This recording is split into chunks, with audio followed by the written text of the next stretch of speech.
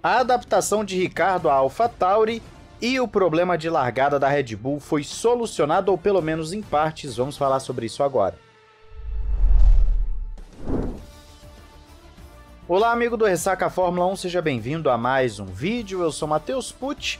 Enquanto a Fórmula 1 vive uma série de rumores, uma hora é Alonso na Red Bull, outra hora é desmentido, outra hora é isso e aquilo, vamos falar de coisas um pouco mais concretas então, nesta semana de Grande Prêmio do Brasil. Quero começar falando de Daniel Ricardo, temos um material muito legal do The Race falando sobre a adaptação do Ricardo e com falas do, da própria AlphaTauri sobre isso e claro, ainda é muito cedo para falar que o Ricardo necessariamente se adaptou, mas a corrida do México é um indicativo de que pelo menos alguma coisa no estilo de pilotagem nesse, nessa sintonia piloto-carro pode ser feita. E é aí que está o grande detalhe. Ricardo tem um estilo de pilotagem diferente do Tsunoda ou do Pierre Gasly, por exemplo, que era o principal piloto até o ano passado.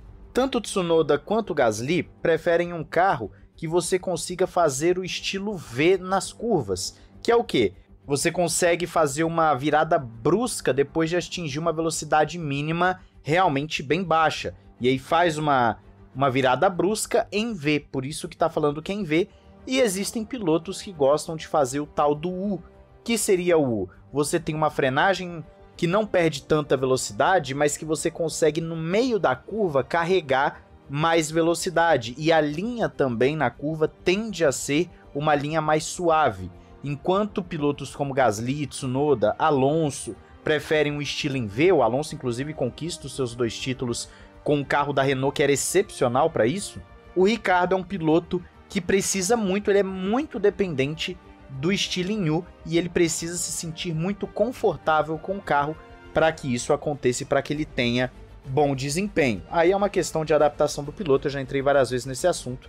Eu acho que grandes pilotos precisam ter capacidade adaptativa. A forma com que o Ricardo se aproxima da curva, obviamente, impõe uma exigência diferente ao carro e aos pneus. E é justamente isso que aconteceu no México que o Ricardo acabou andando tão bem. O engenheiro-chefe de corrida da AlphaTauri, o Jonathan Edels, fala que o estilo de pilotagem é diferente e não apenas na plataforma mecânica ou aerodinâmica, mas também com os pneus, porque são bastante sensíveis. E a maneira como o Ricardo pilota acaba gerando temperaturas diferentes no pneu, assim como um equilíbrio também de temperatura diferente em relação ao Tsunoda. Não é uma diferença enorme, mas existe a diferença, e isso impacta diretamente na sensibilidade e em como o piloto consegue ter a confiança no carro. Então, o Ricardo expõe fraquezas do carro e outros pontos que são diferentes daqueles que o Tsunoda consegue expor por conta dessa diferença de pilotagem. E cabe à AlphaTauri chegar numa configuração ideal para cada um, o que é extremamente difícil, já que os carros tendem a ter uma característica privilegiando um estilo ou outro. É muito difícil, é raro você ver um carro que privilegia vários estilos de pilotagem. O Ricardo prefere levar mais velocidade na curva, fazendo o tal do formato U, e para isso ele precisa de um pouco de instabilidade traseira na hora da curva, para poder ter aderência suficiente para girar o carro no meio da curva sem que a traseira se perca. Então ele precisa de um pouco de instabilidade, não muita, mas um pouquinho, para manter também a frente do carro do jeito que ele gosta. Isso é interessante, porque tem pilotos que gostam, por exemplo, de uma traseira mais firme com a frente mais solta, isso varia muito de gosto de pilotagem. A McLaren, por exemplo, tinha um carro muito instável e inconsistente para fazer as curvas no estilo que o Daniel Ricciardo gosta. E isso persiste até hoje, porque o Lando Norris ainda fala que o carro mantém as mesmas características dos outros anos e que ele não consegue fazer as curvas em U, ele tem que fazer obrigatoriamente em V. A diferença é que o Lando Norris, assim como o Piastri, pelo visto, conseguiram se adaptar a essa exigência do carro da McLaren, enquanto o Ricardo não. E é aí que está o problema do Ricardo. Ele é um piloto que fica limitado a um estilo de carro que quando tá do jeito que ele gosta, ele vai entregar ótimos resultados, mas quando foge aquilo, é um piloto que simplesmente some. E esse é o motivo de não ter dado certo na McLaren que agora é uma equipe que está crescendo bastante. E ele mesmo, Ricardo, confirmou que teve a sua limitação exposta em termos de se adaptar a um estilo diferente e que o Norris fez muito bem. Então o próprio piloto identifica essa falha nele. O Eddles da AlphaTauri ainda fala que as direções das novas configurações do carro melhoraram a dianteira do carro para o Daniel Ricciardo, trazendo mais estabilidade na dianteira, afetando a temperatura dos pneus nas curvas de forma positiva e também gerando para ele aquela traseira levemente mais instável que ele gosta, para poder fazer a curva de um jeito que ele está mais familiarizado e mais adaptado. Então o que estamos falando em suma nessa matéria toda do The Race, que você pode conferir aí na descrição, tem mais informações lá, é que o Daniel Ricciardo é um piloto que funciona com um estilo, e o carro da Red Bull favorecia esse estilo de pilotagem dele, assim como aconteceu muito com o Vettel também. O Vettel caiu como uma luva no carro da Red Bull, que é um carro que poucos pilotos conseguem se adaptar.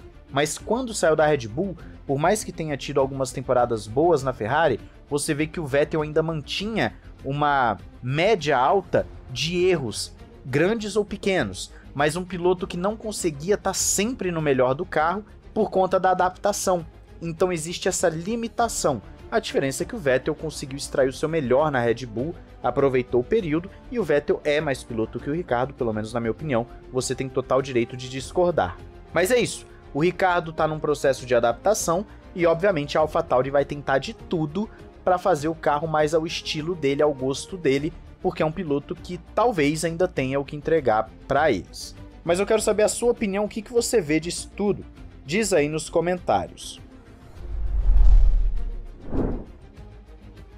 Agora vamos falar de Red Bull, isso porque o Max Verstappen deu uma informação interessante após o Grande Prêmio do México. Ele falou que conseguiram melhorar o procedimento de largada, estão entendendo mais a aderência dos pneus, as configurações de embreagem e também acha que estão um pouco mais afiados nisso tudo, apesar que no início do ano tiveram problemas e acha que ainda não fizeram a coisa certa com a temperatura dos pneus e a configuração da embreagem, é tudo muito sensível.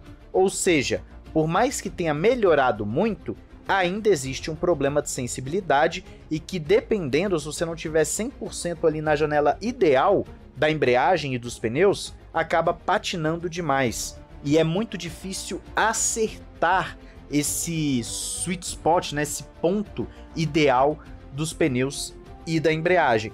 Só que no México as duas Red Bulls conseguiram isso. Nós vimos que a largada das duas Red Bulls foram excepcionais. Tanto é que ah, tem aquela imagem pouco antes da curva, da primeira curva, que o Pérez estava liderando, ele largou em quinto, e o Verstappen estava por dentro ali, brigando com o Leclerc. Você vê que as Red Bulls realmente tiveram uma largada excepcional, e isso, aliado ao vácuo, acabou ajudando também.